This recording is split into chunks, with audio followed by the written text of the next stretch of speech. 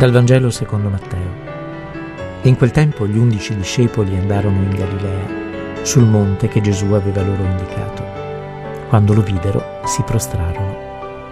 Essi però dubitarono. Gesù si avvicinò e disse loro, A me è stato dato ogni potere in cielo e sulla terra.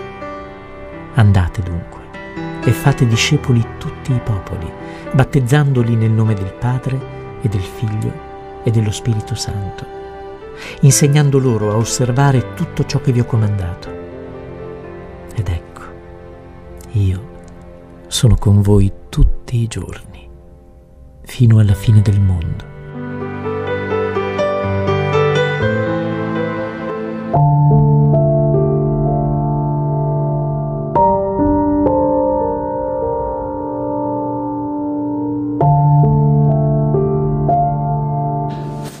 Sono passati 40 giorni dalla Santa Pasqua e a conclusione della, di questa quarantena pasquale il Signore ci fa contemplare la sua ascensione al cielo, cioè Gesù torna definitivamente al Padre.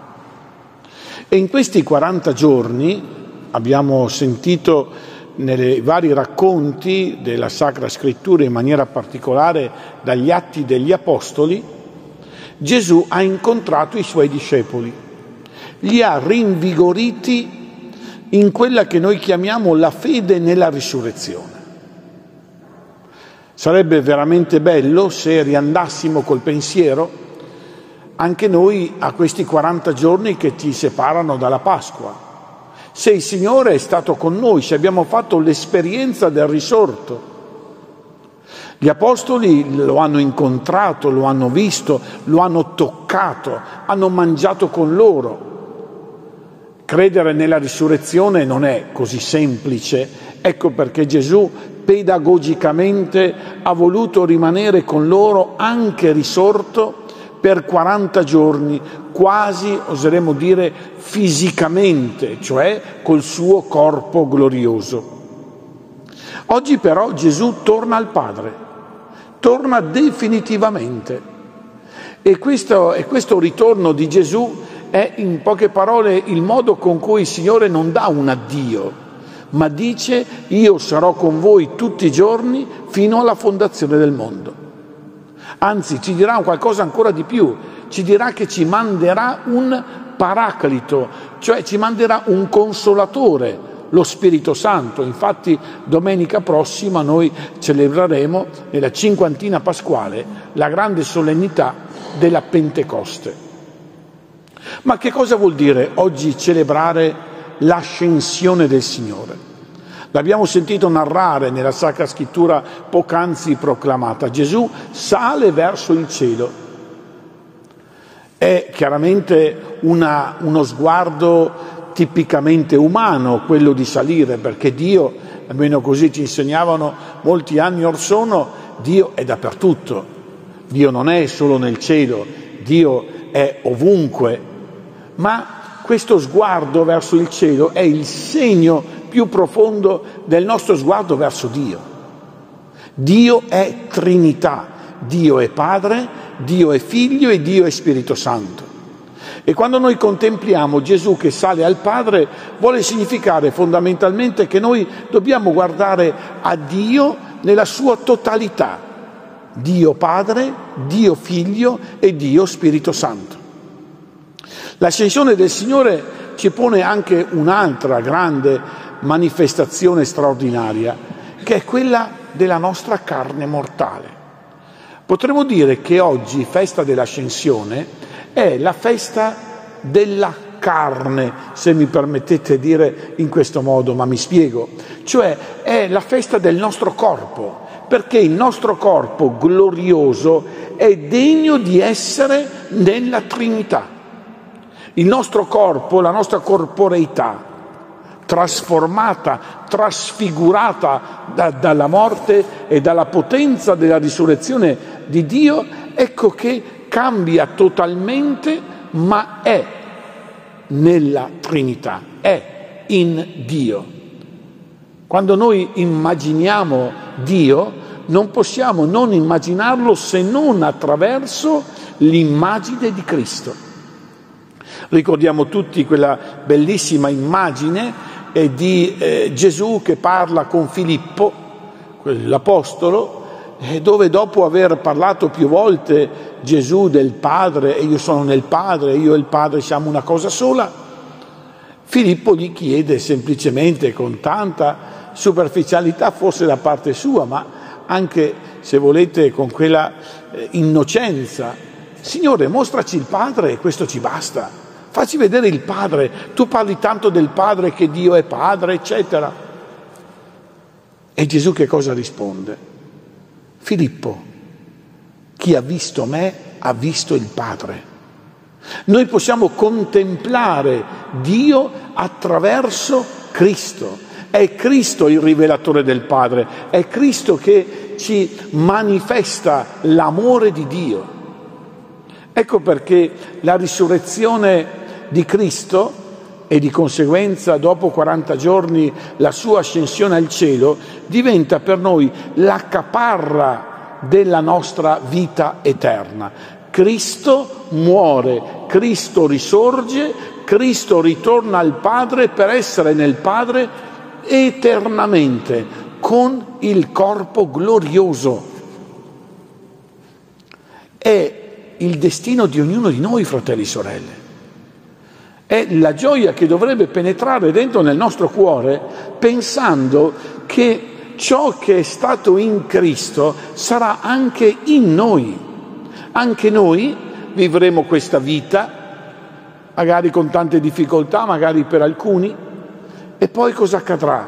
Accadrà la morte. E dopo la morte cosa ci sarà? La vita eterna.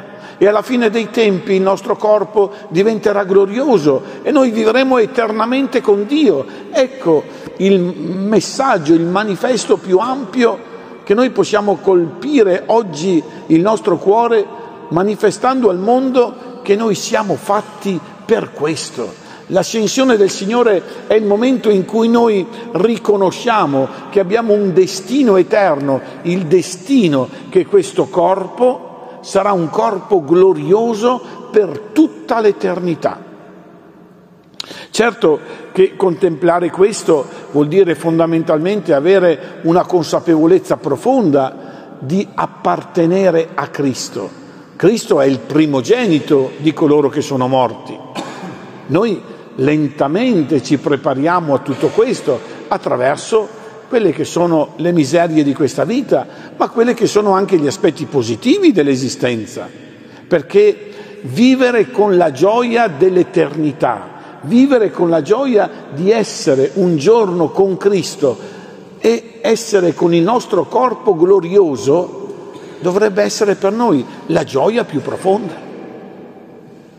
Forse noi cristiani abbiamo perso la consapevolezza di questa gioia profonda, di questa bellezza che c'è nel cuore di ciascuno di noi che vuole in un certo qual modo trasformare la nostra vita guardando al domani con un occhio profondamente lungimirante per poter dire ma Signore, ma davvero noi abbiamo questo destino straordinario, il nostro destino che è un destino eterno, un destino con Dio, un destino nella gioia definitiva con il Signore.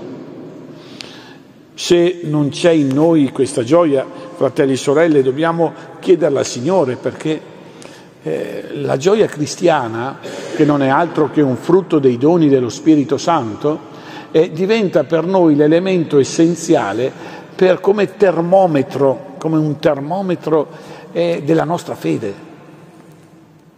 È la domanda che ci potremmo porre quest'oggi, dire, ma tu ci credi? Ma tu credi che il Signore può trasformare la nostra vita in una vita eterna e che questo corpo glorioso, quando sarà trasformato glorioso, diventerà qualcosa di straordinariamente bello per tutta l'eternità. Fratelli e sorelle, celebrare la Santa Eucaristia, la Santa Messa, è primariamente uno sguardo verso questo, è un'apertura, è come quando si schiudono le nubi del cielo che entra il sole, no? questi bellissimi sguardi, eh, squarci bellissimi de- del cielo. E anche così per noi, questi squarci straordinari dove noi possiamo intravedere nella fede il nostro destino eterno. La messa che cos'è? È l'esperienza di questo, è l'inizio dell'esperienza della manifestazione di Dio. Perché nel pane e nel vino consacrati c'è tutto Cristo, corpo, sangue, anima e divinità, quindi noi possiamo fare già un'esperienza di Gesù, possiamo già fare un'esperienza di Lui che viene a noi nel suo corpo attraverso l'Eucaristia, cioè un'esperienza sacramentale. Non per nulla, quando noi celebriamo l'Eucaristia, possiamo dire che facciamo un anticipo di paradiso. A qualcuno verrà da ridere perché magari quando viene a messa eh, guarda, guarda, l'orologio per vedere eh, quanti minuti sono passati e quindi di conseguenza la messa è bella se dura poco, eh, se dura tanto la messa non è bella, quindi di conseguenza è un po' difficile avere questa consapevolezza eh, del, dell'anticipo di paradiso, eh, perché se il paradiso eh, dura, dura, così tanto magari anche stufa un po'. Ma se invece noi lo guardiamo sotto il profilo dell'incontro che possiamo porre davanti a Cristo e dire, Signore, ma io ti posso vedere, io ti posso cogliere, io ti posso fare l'esperienza vera del Signore. Allora capite che la messa diventa il momento dell'incontro più bello con il Signore.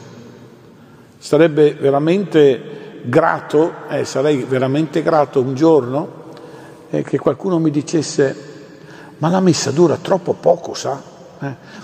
No, non ne ho trovate nessuno finora, eh? Eh, dico la verità, finora non ho trovato nessuno, forse qualcuno, ma, ma è qualcuno che dice, ma la messa deve durare di più, perché vorrei assaporare di più, vivere di più questa esperienza, questo piccolo squarcio di cielo qui sulla terra in cui posso sperimentare veramente la presenza di Lui qui e ora. Contemplando allora l'ascensione del Signore, noi in questo mondo chiediamo a Lui, mentre ritorna al Padre, ma che rimane qui sacramentalmente nell'Eucaristia, Signore, aiutaci a credere di più, aiutaci a darci quella forza e quel coraggio e quella fede soprattutto per vivere intensamente questa vita, per meritare quell'eternità che tu hai preparato per ciascuno di noi. Sia lodato Gesù Cristo.